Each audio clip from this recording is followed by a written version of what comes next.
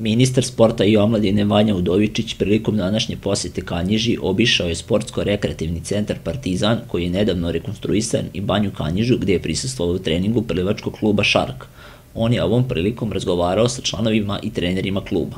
Drago mi je da sam ovde danas u, u banji, da mogu da razgovaram i sa predstavnicima plivačkog kluba, ali sa zaposlenima ovde u banju, da, da vidimo šta je to što možemo u narednom periodu da uradimo, ono što je apsolutni dogovor da pomognemo plivački klub u daljem usavršavanju, jer jeste za poštovanje da u ovako kratkom periodu imaju ovoliki broj polaznika, jer 55 dece u ovako kratkom vremenskom periodu je za svako poštovanje, ali za, za postrek i za motivaciju i drugim plivačkim klubovima. Možemo se pohvalimo da smo za manje od godinu dana uspeli da rekonstruišemo sportsko-rekreativni centar Partizan i da omogućimo mladima, ali da omogućimo sportistima da imaju još kvalitetnije, još bolje uslove za bavljanje sportom, nekim budućim košarkašima, basketašima, da omogućimo da imaju najbolje uslove za bavljanje tom vrstom sporta, ali prvenstveno teretana na otvorenom kao znak da svaki građanin, svaki mladi, svako dete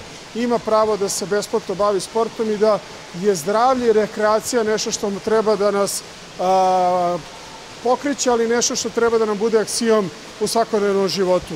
Plivački klub Šark jedan je od najmlađih sportskih kolektiva iz Kanjiže i trenutno broji 55 najmlađih polaznika, dok njih 25 aktivno učestvuje na takmičenjima. Prema rečima trenera Enisa Beharovića, plivanje je od izuzetne važnosti za fizički i psihički razvoj dece. Mi naše treninge odrađujemo vikendom u Banji Kanjiži.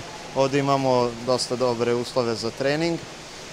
Radimo sa decom, sa najmlađim uzrastom, trudimo se kroz škole plivanja da što više dece uključimo u plivanje, plivanje je jedan od najzdravijih sportova e, i vrlo je bitan za razvoj dece kako na fizičkom, tako i na psihičkom planu. Imamo, hvala Bogu, puno polaznika, deca dolaze redovno, učestvuju na, učestvujemo na takmičenjima širom Srbije, bavimo se plivanjem na otvorenim vodama od 3 do 10 km i to nas čini srećim.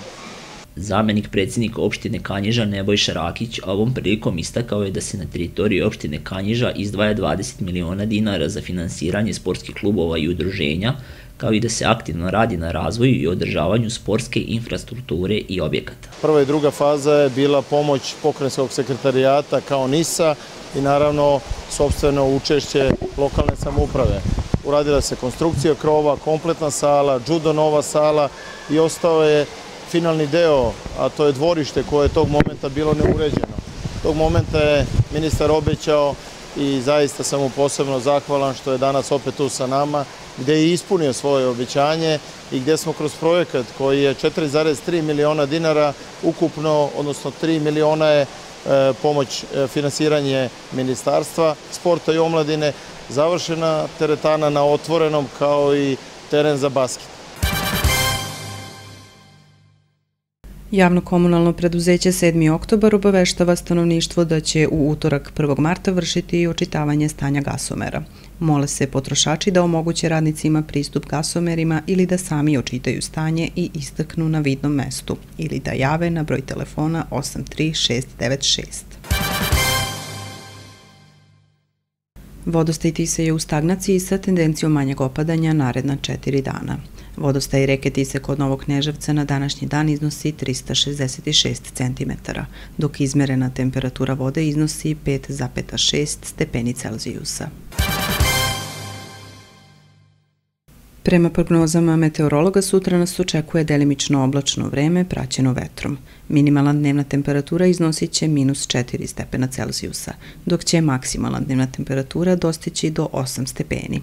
Duvaće severoistočni vetar jačine do 22 km na čas, a pritisak će biti iznad normale. Vlažnost vazduha iznosit će 48%. Prognozirana biometeorološka situacija može usloviti tegobe kod hronično obolelih osoba. Oprez se posebno savetuje kardiovaskularnim bolesnicima i astmatičarima. Meteoropatske reakcije u formi glavobolje, promenljivog raspoloženja i reumatskih bolova biće najizraženije. U saobraćaju se preporučuje maksimalna pažnja.